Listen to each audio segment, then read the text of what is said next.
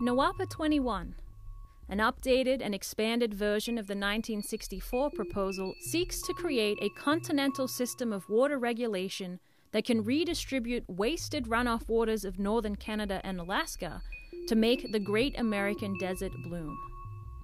It would turn would be floodwaters in one area into the means for fighting drought in another, all through the construction of a massive infrastructural network which can direct these flows and provide a scientific analysis of their best use. The specific design arose out of the consideration of a unified management system which incorporates the topographical, geological, and hydrological characteristics of the North American continent, harnessing the abundant northern precipitation caused by the interaction of the Pacific Ocean weather patterns and mountain topography. The easterly migration of moist air evaporated from the Pacific Ocean contributes to very heavy precipitation along the cold, higher elevations of the Alaskan and British Columbian coasts, and also extends further down to the coastal mountains of Oregon. These regions receive the major portion of their annual moisture during the winter season, while the inverse is true for interior regions. When high pressure ridges form near the west coast, even more water is diverted to Canada and Alaska, contributing to droughts in the west and underscoring the need for continental scale water management. With a virtually constant input of solar energy to drive the ocean evaporation, a constantly replenishable water source is available if we apply our creative powers to harness it. NAWAPA 21 seeks to modify and redirect the awesome hydrological resources of the Pacific Ocean weather cycle through the continent's interior, extending the time the fresh water interacts with vegetation, stream and ground flow, and industrial processes before returning to the ocean. It is estimated that 40% of precipitation over continents returns directly as runoff or groundwater discharge to oceans, while the remaining 60% re evaporates and falls back onto land, recycling itself an average of 2.7 times before returning to the ocean. In building NAWAPA 21, water which was once runoff will be used not once, but multiple times as it recycles as rainfall across the continent before exiting the system. The concept of NAWAPA 21 takes into account the anomalously high runoff in the north, totaling approximately 1,300 million acre feet of water per year by conservative estimates, along with the fact of the very sparse water resources available in areas such as the southwest United States, where runoff is only about 32 million acre feet per year. Of the total river basins in Alaska, British Columbia, and Yukon, the NAWAPA 21 catchment area encompasses rivers which have an annual runoff of 630 million acre feet per year. Of this, the NAWAPA 21 collection system plans to redirect 22%, or 138 million acre feet per year, for hydropower generation and for the distribution of water to the southwest United States and northern Mexico. The remaining 78% will flow in its normal direction. This 138 million acre feet per year of water, used to upgrade the potential of these lands, would thus be about 11% of the excess water which is currently flowing, practically unused, into the ocean in Alaska, British Columbia, and Yukon. The original 1964 proposal increases the total Mackenzie Basin contribution to about 20%, providing 40 million acre feet of water per year for agriculture in the prairie provinces, and a barge canal from the Peace River to Lake Superior. The central principle is total water management with respect to the governing characteristics of the continent's topographical and climatological features, rather than being subject to local conditions. Total resource management is scientific management and the only choice for those who seek long term security for the nations of the hemisphere. Reservoirs in the Alaskan and Yukon River basins, with a storage capacity of over 2 billion acre feet, are formed by six dams. A fraction of the total runoff is directed south, down the Yukon River. Pump lifted 300 feet in northern British Columbia, and then lifted another 670 feet in southern British Columbia into a reservoir at 3,000 feet above sea level, created out of the 500 miles of the Rocky Mountain Trench. The waters will then be distributed and pumped through a succession of reservoirs in Idaho, and then distributed through canals, aqueducts, and tunnels to the southwest United States. In Utah, the water flow will branch in two directions. The first branch heads into southern Nevada, and then branches west into California's Panamint Valley, and south, paralleling the Colorado River to irrigate southern California, western Arizona, and northern Mexico. The second branch flows into eastern and southeastern Utah, linking up with Lake Powell's distribution system. Part of the flow could be used to supplement the Colorado River and increase the power capacity of the Hoover Dam. Continuing into Arizona, 11 reservoirs are created, including what will become Lake Navajo, 30 miles from Flagstaff, which, at over three times the size of Lake Mead, will be the largest reservoir on the United States side of the project. Canals branch throughout the state, providing water where irrigation is needed, with one branch creating five reservoirs west of Phoenix and continuing into Sonora, and the other creating three reservoirs as it enters into New Mexico. The New Mexico distribution brings substantial flows to the Pecos and Rio Grande regions via three branches down into northern Mexico and Texas, and creates two major reservoirs in New Mexico one the size of Lake Mead, before pumping water north to Colorado.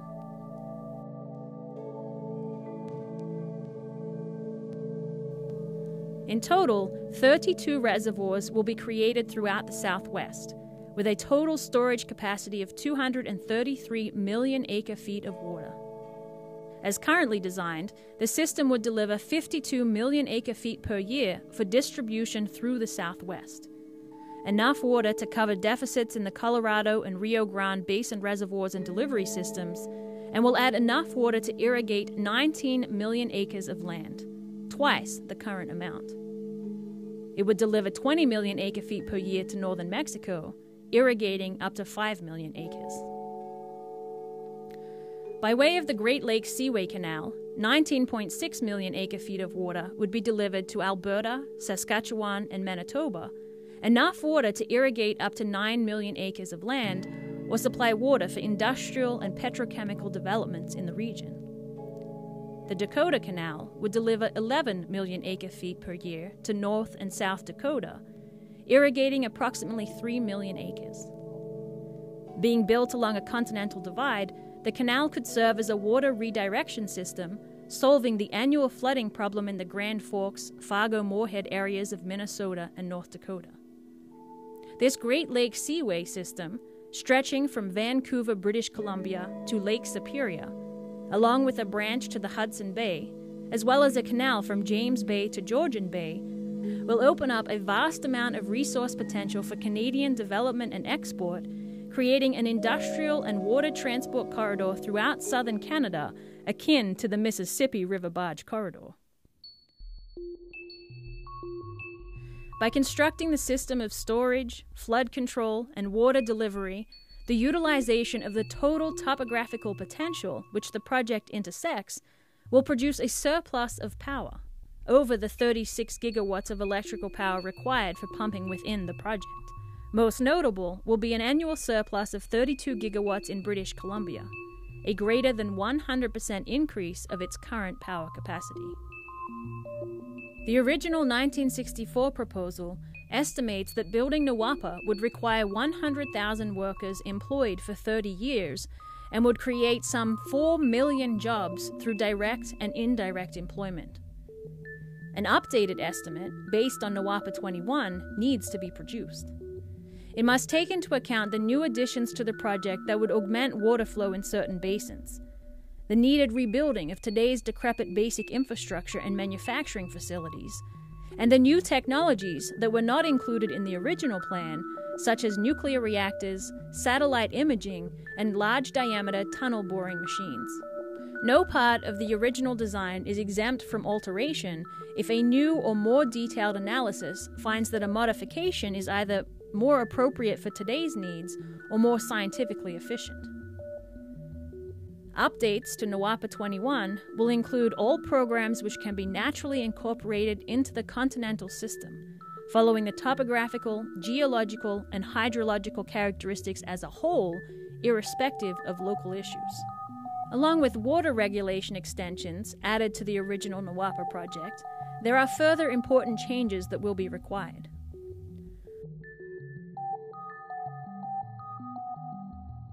For the lower 48 states, a major expansion to the current rail grid, both with respect to routes and equipment, is needed. High capacity lines, as well as a number of rail cars, will need to be manufactured before the efficient transport of construction materials and machinery requisite for NAWAPA 21 can be executed. The Canadian Pacific will need additional routes to Lower British Columbia, as well as a major investment to complete the Alaskan Canadian connection system, estimated at 2,000 miles, for two new routes. These routes can be adjusted to meet the needs of NAWAPA 21.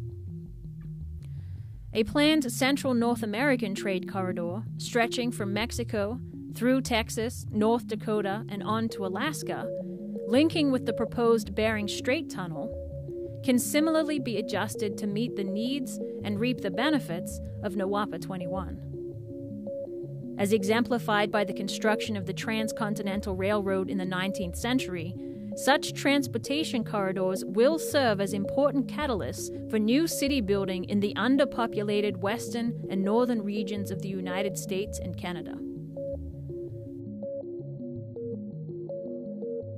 The roads needed for the rail construction and the subsequently installed rail lines will create transport corridors from the states of Washington and North Dakota directly through British Columbia, Saskatchewan, and Alberta to Alaska and Yukon.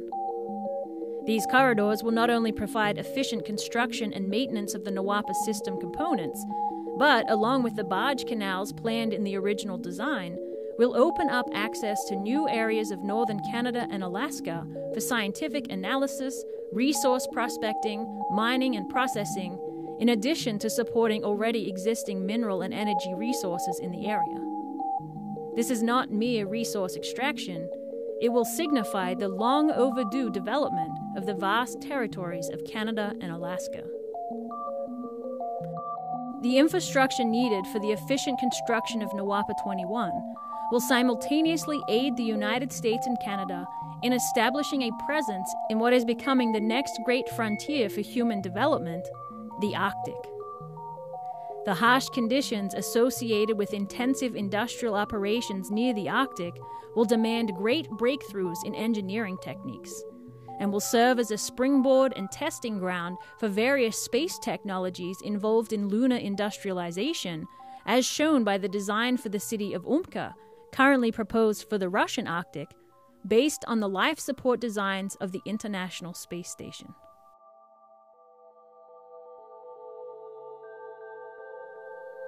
NAWAPA 21, during its 20 to 30 year construction cycle, will transform and advance the physical economies of the United States, Canada, and Mexico, and will be a virtual laboratory for the development of new industrial technologies, new applications of the geotechnical sciences, and new methods of large scale biospheric engineering.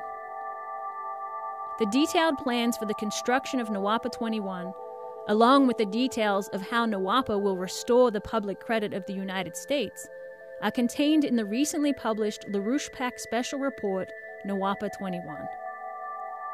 A PDF of the report is available online at larouchepac.com slash NAWAPA21, and physical copies are available from LaRouche PAC for the suggested contribution of $100.